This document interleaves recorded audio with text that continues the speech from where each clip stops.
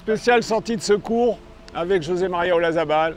On travaille la balle ploguée, celle qui peut arriver de temps en temps et qui vous ennuie tellement.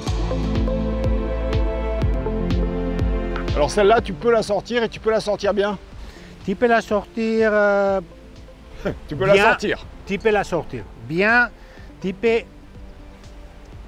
tu peux contrôler de quelque façon jusqu'à une limite euh, ça que tu veux faire avec la balle. Bien sûr, la balle, tu ne vas pas donner de spin, la Non. balle va rouler, tout ça.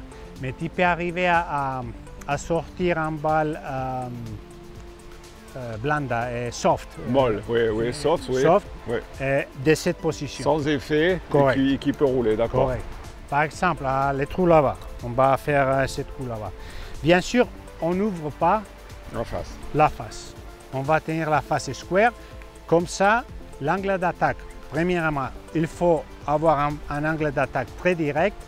Et si on a la face square, normalement, ça qu'on a bien de parler, c'est que les bounce, ça ne va pas marcher. Ça, va, ça va en- entrer dans la, dans la sable.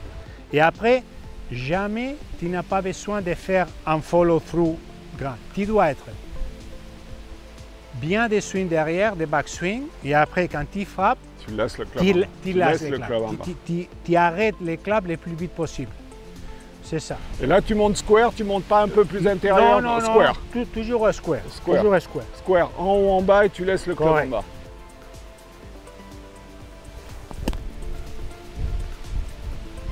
Voilà, C'est ça. ouais.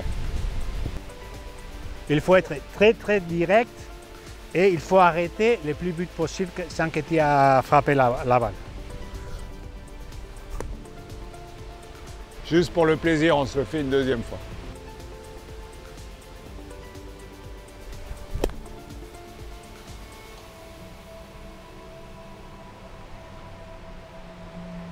C'est pas mal. Ça va